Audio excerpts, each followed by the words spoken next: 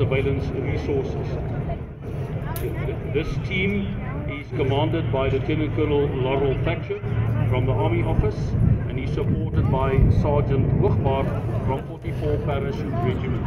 Take note that this is a simulated Pathfinder infiltration. These members are not from the Pathfinder grouping itself. The Pathfinder grouping are currently committed elsewhere, but our free fallers, most of them are from 44 Parachute Regiment. They're all instructors at the school and therefore they are very much experienced or highly experienced to perform such a uh, demonstration in a close proximity of the crowd. You can now observe up high, just below the cloud base, directly to the west, the Oryx is flying from right to left. They will be oh, turning in shortly, flying in from the west into the wind so they can drop slightly behind us. The reason is for this. No problem. When you jump out, you need to do upwind of the wind cone to allow the jumpers to keep the, the wind before they turn downwind and land. We call that the wind cone. If you drop them downwind, they may never reach this position. Inside the aircraft, uh, Lieutenant Colonel Laurel Thatcher will also be the dispatcher. So he will do the spotting and make sure that we jump over target. We also have a drop zone safety officer that will deploy smoke to be able to bring these jumpers onto this position.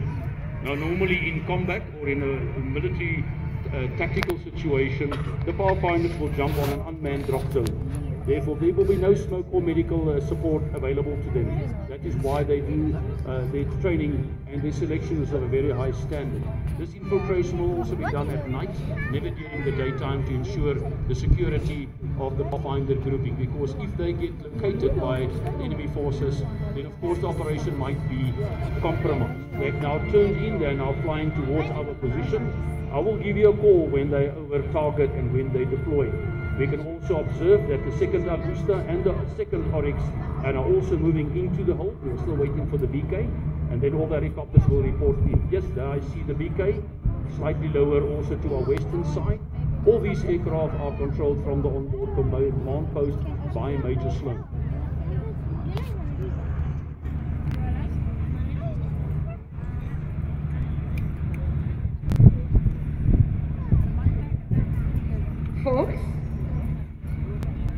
Will be entering from the southern side at 9,000 feet with four Pathfinder jumpers. These members are in direct communication with the drop zone safety officer who will give them the wind vectors before jump. But in a real world scenario, they will jump without his assistance to infiltrate the theater of operation.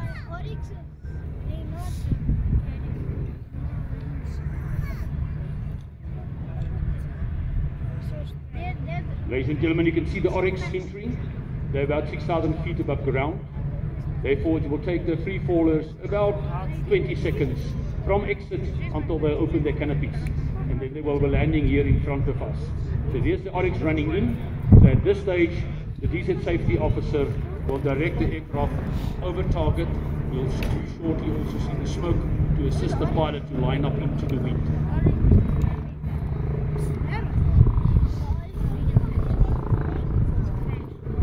And just one correction, there are five members on board as far as we know.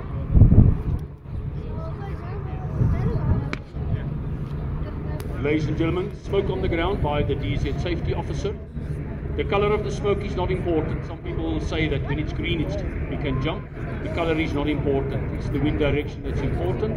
The DZ safety officer will give final clearance to the Oryx one minute from the jump. Second smoke going off. The aircraft is now nearly directly above us into the cloud base. And just for your information, it's quite sore to, to fall through the cloud because you fall into the sharp end of the drop. That is the water drop. Oh. My neck can't handle this. The aircraft is now nearly overhead.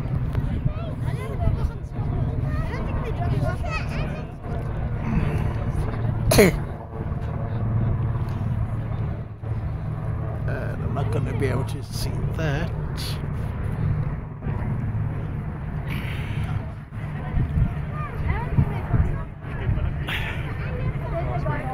Exit, exit, exit. Free fallers will now fall. They will accelerate within 8 seconds to about 220 kilometers per hour. And then they will open their parachute around about 3,500 feet above the ground. Now, some people always ask me, if the free faller opens his parachute, do they go up? No, they're not going up. They're just decelerating. Normally that optical illusion is created by the fact that the cameraman that occupies the free faller falls away from the free faller. That's why you get this idea that the free faller is going up. Nothing is going up, everything is going down. Free fall is a stepping stone to high altitude, low opening operations, halo operations. This is used to infiltrate where one jumps out of an aircraft at about 30,000 feet above mean level and activate his or her parachute at 3,000 feet above ground level. Meaning these members are jumping from the highest level and open at the lowest level after jumping. Ladies and gentlemen, all the parachutes are now safely open. The canopy that they're jumping with the Pathfinder 300. Uh, 300 means, means that this is a 300 uh, uh, square feet canopy, which is quite large. Civilian free fallers jump with much smaller canopies for higher speed. In the military, it's not about speed, it's getting safely onto the ground. The other reason why our parachutes are so large is because the jumper must also jump, the pathfinder must jump with his personal equipment. Because our job is not to land and congratulate ourselves afterwards, it's actually to do some form of mission. The canopies are also colored light grey to make them less visible, visible in the air. The jumper can manipulate the canopy uh, like an aircraft wing by pulling down on the cockles, which can uh, the jumper can use to steer itself onto a position.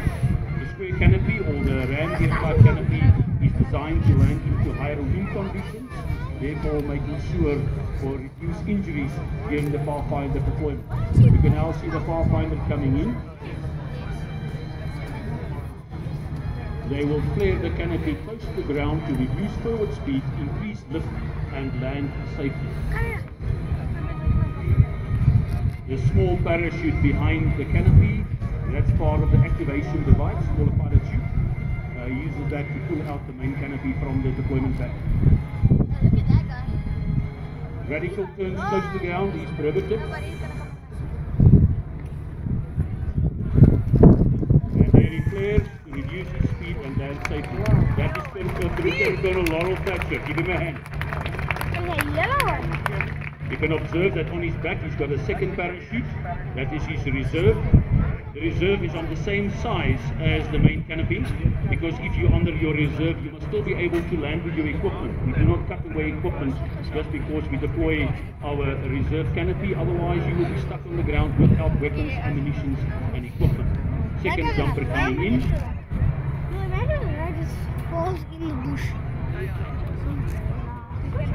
We've requested the Pathfinder grouping to land slightly apart so everybody can see something.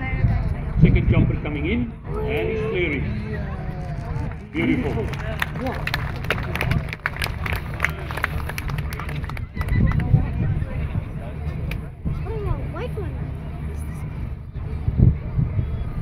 Third jumper coming in, standing by for the flare, and he flares.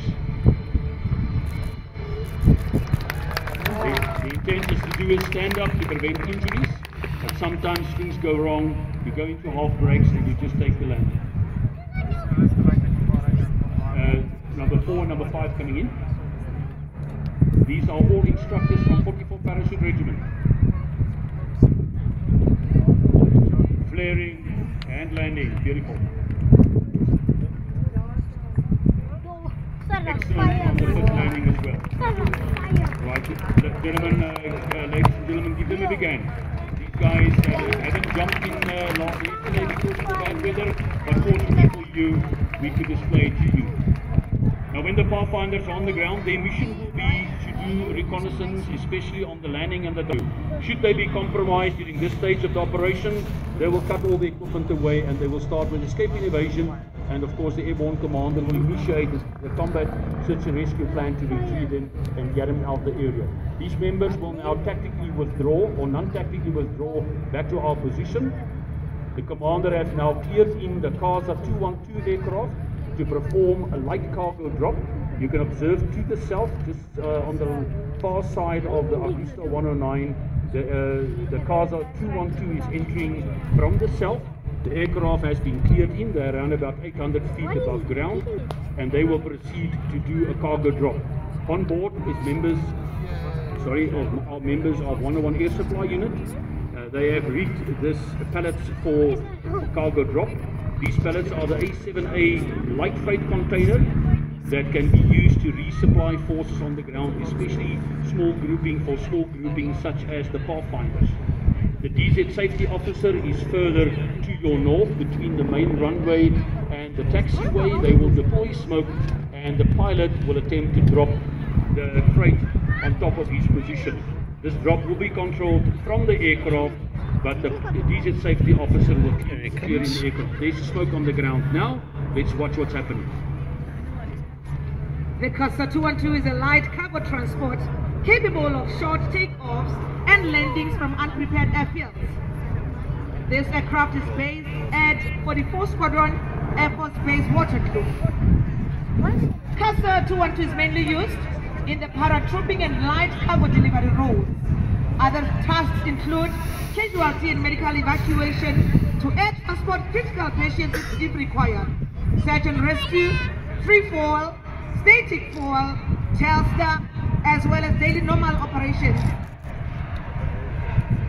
You can observe that the rear ramp is open. The grouping is standing by and we commands to the pilot.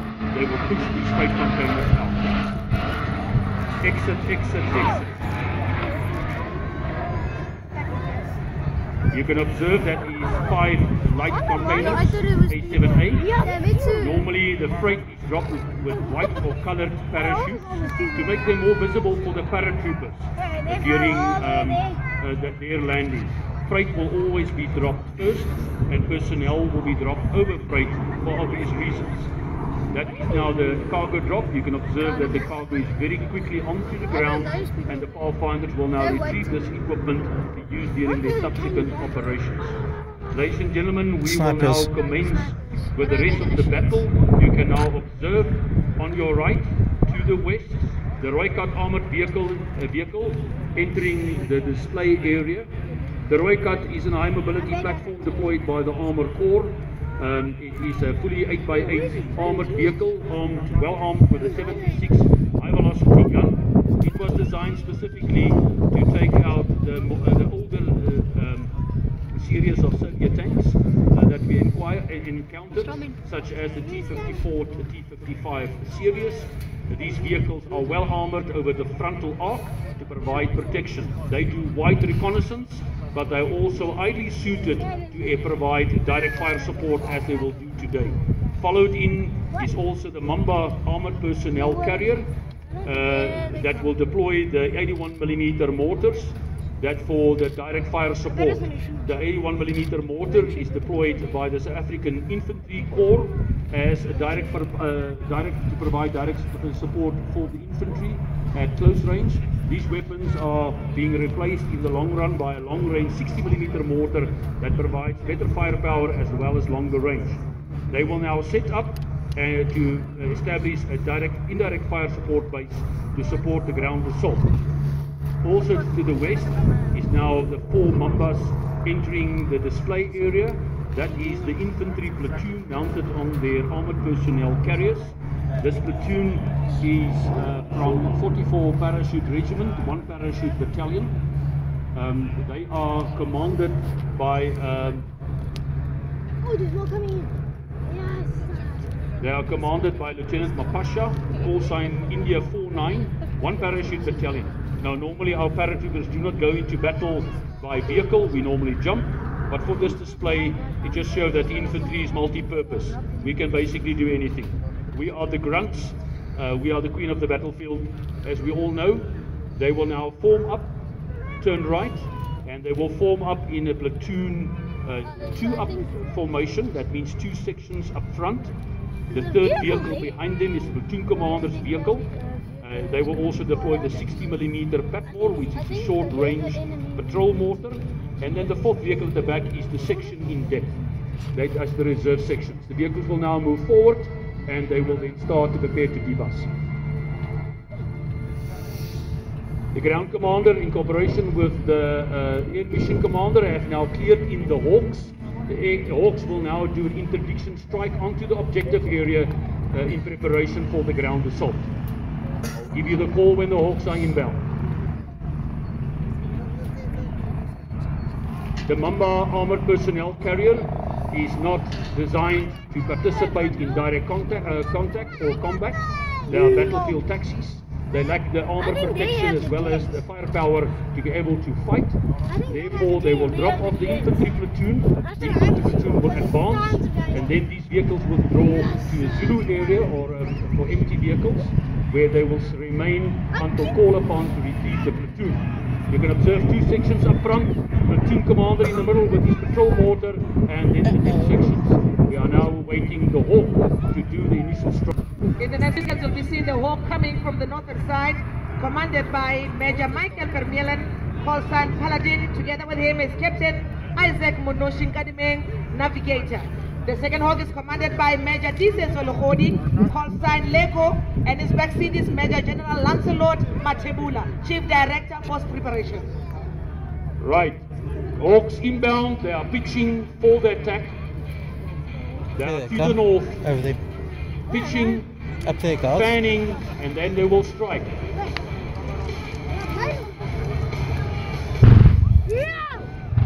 That's loud. The Hawk Mark 120 lead-in fighter trainer demonstrate the capabilities of the platform.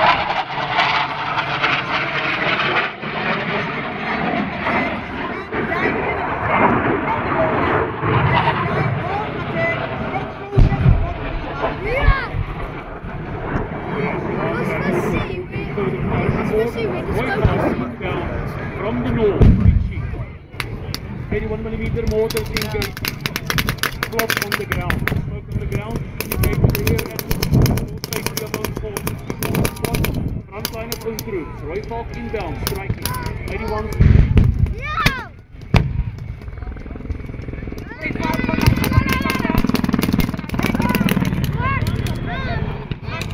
Recognizing Oh my God! It's all over. counter-insurgency role. Oh my word! Infantry is now doing fire movement.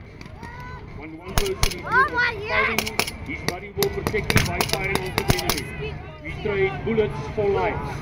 So although the infantry is in the open, all the firepower directed at the enemy will probably keep the hit low to reduce losses. The Hawks have now taken up the cap. Combat air patrol up high to observe the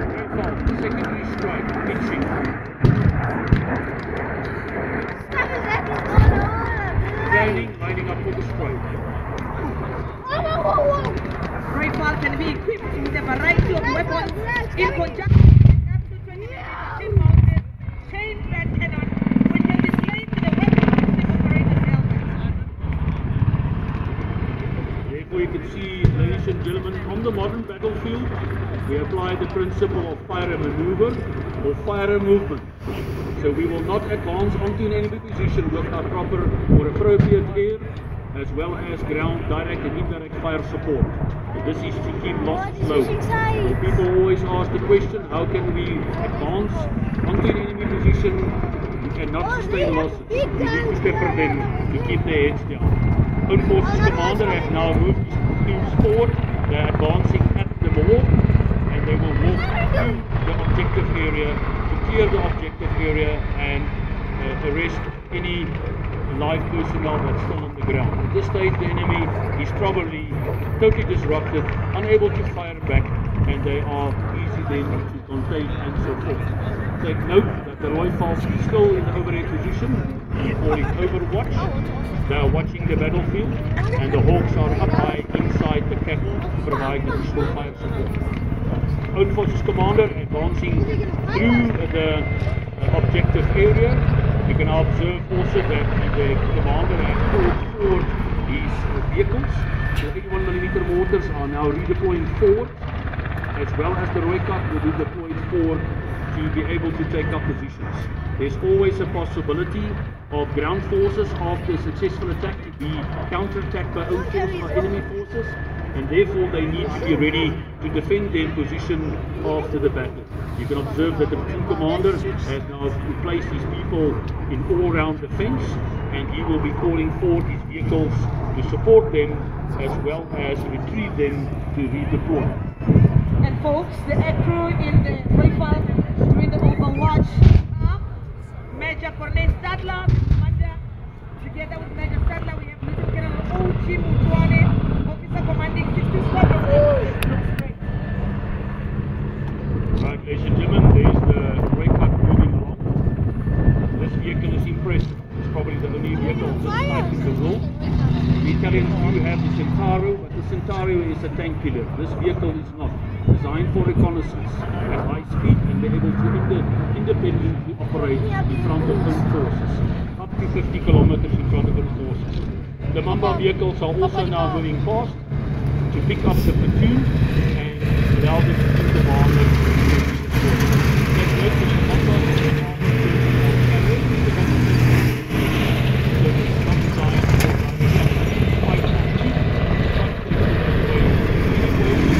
Vehicles are generally bulletless. Anybody shoots at them, safer to be on the ground. And that Agusta 109 right in front of us is playing the role of airborne command and control. And this is a task that the Agusta 109 can perform from an overwatch position, performing airborne command and control for ground forces to aid in crime prevention, crowd, con- crowd control, and battlefield support from airborne position. Ladies and gentlemen, you can notice that the Agusta has been cleared in to uh, perform a reconnaissance mission. The Agusta, because of its speed and its small size, is ideally to do battlefield reconnaissance. It's a dangerous environment, so these aircraft are normally protected by a Rooivalk. As of course, they also have electronic systems on board to protect the aircraft. So this is the Agusta performing a battlefield reconnaissance mission. Agusta 109 is a light utility aircraft and has multiple configurations with dual benches and can be configured with weapons. This aircraft can be 20 knots faster than the speed of the Oryx and further requires less support crew than that of the Oryx. It has an amazing flight automated suit and can hold in a hover. Ladies and gentlemen, the platoon commander has now rolled up. They have arrested those enemy forces still alive. We have beaten them yesterday, but for some reason they are back today. Hopefully they have learned their lesson truly well. They are now retrieving under the cover of smoke, and the platoon commander will move off. We will see the Rooikat will also deliver some smoke. The Rooikat can deliver smoke by pumping fuel onto the manifold of the engine. creating a plume of black smoke.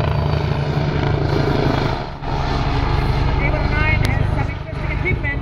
One can fit in like APOS system, which is an airborne observation system. The roles and functions of the Agusta 109 include hoisting,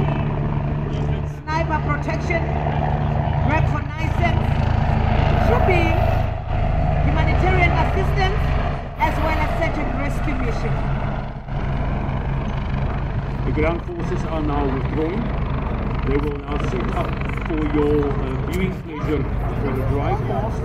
I think these people did very well. They are my old paratroopers. They are my alma mater. And ladies and gentlemen, they can fight. If you're ever wondering if you can, yes, we can. Right, Agusta unfortunately received enemy fire from the ground. The aircraft has been shot down. The pilot are now trying to land the aircraft. We've been informed that one of the air crew has been seriously injured. The second crew member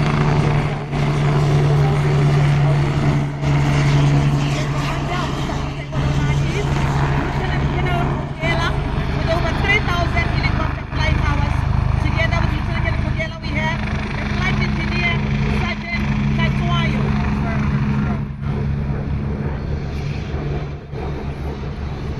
The tre- retrieval of uh, pilots are extremely important for obvious reasons. If a pilot is captured, uh, he can use for various of political reasons.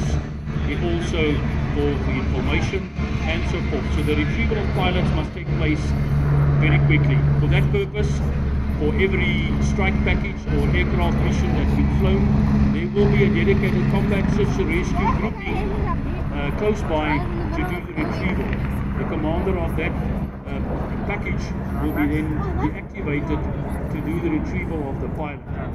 So there you have our down pilot. Um, he's uninjured, and when the pilot is uninjured, it's very simple. We simply fly in and we pick them up. But the operation can be much more complicated.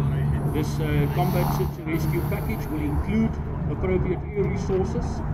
It will include ground elements that will deploy to the ground to retrieve the pilot. It will include com- onboard command post, and it will be supported by fixed-wing aircraft as well as the Rooivalk attack helicopters to make sure that nobody interferes with the retrieval of the pilot.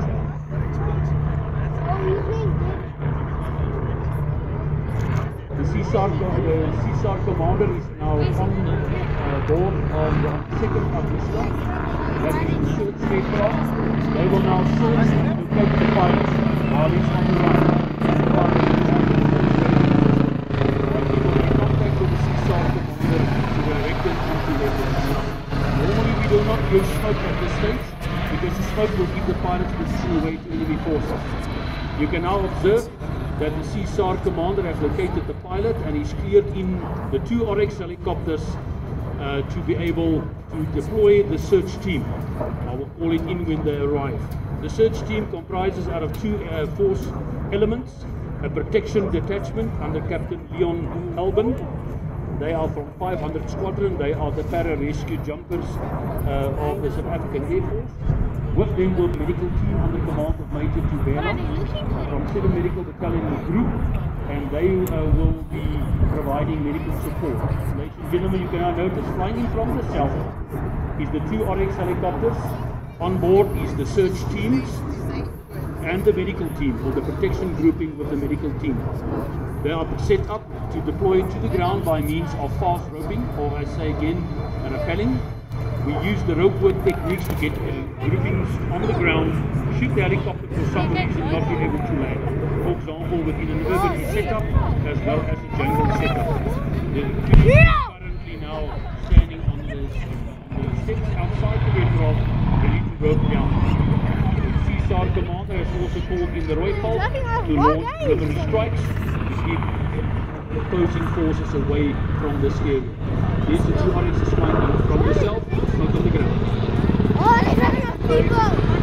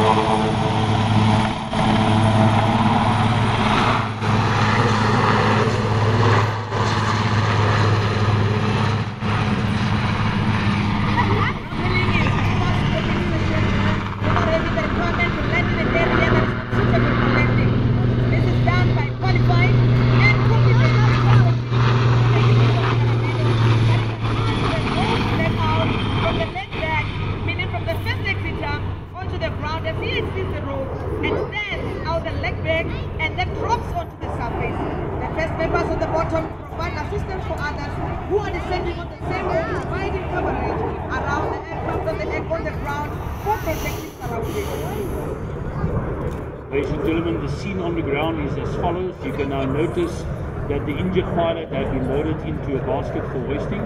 He is surrounded and protected by members from 500 Squadron. They are the members with the black helmets. These members are Air Force personnel. They are all qualified paratroopers and they support us during airborne operations to do combat search and rescue. In the same capacity, they also support special forces. The members with the white helmets are members from 7 Medical Battalion Group. They are fully trained medical personnel up to level uh, medical level 7 to 8. So they are basically paramedics and they will then support or render medical support. You can see now that the stretcher has been reefed. On the stretcher will be the stretcher jockey. He will ride the stretcher to the aircraft and it will be guided by a guide rope to prevent the basket from spinning. Right, we are now waiting for the aircraft for the group on the ground to prepare themselves and for the air mission commander to call in the Oryx helicopters to start.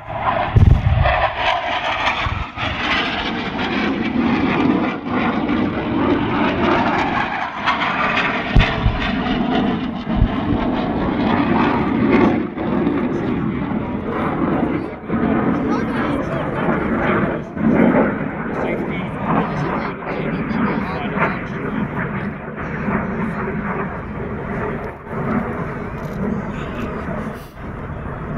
Front lines of a war. Fast asleep.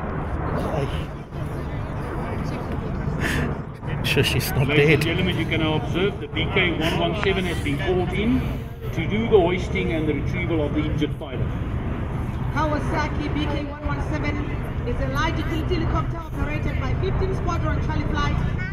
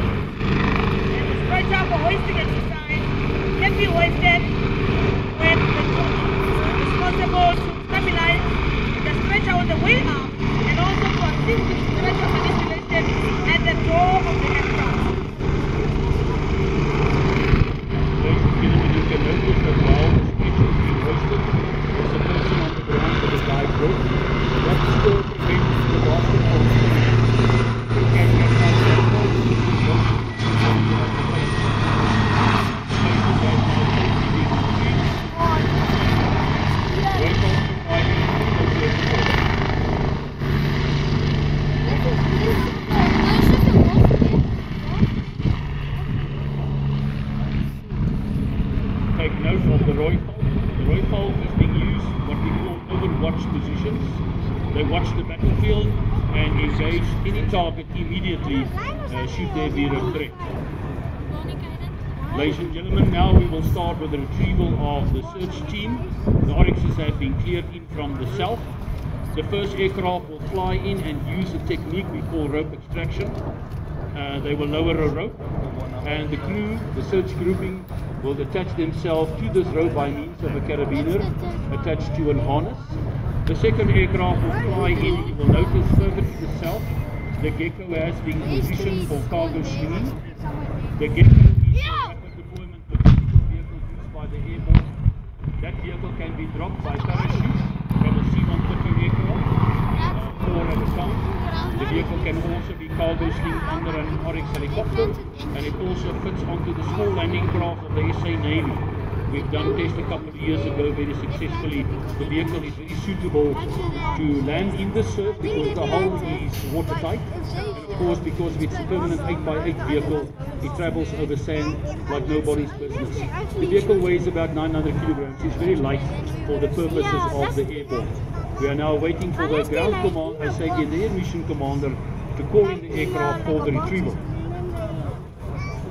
Right, instruction was given, Oryx is inbound to the south. One will do the rope extraction, the second one will do the cargo lifting of the Gecko vehicle. There's only five. No, but they went three days, four, five, six, seven, eight. Um, oh, that's the other two. What That's extraction is performed by competent and qualified air crew only on a specific extraction Up to a number of seven people maximum on the rope at a time. Basically, this is a small team extraction. The aircraft comes into the hove at about One, this, three. 80 to 100 feet, and the rope comes off the ground. One, two, three, The last person at about two, correction, 120 feet.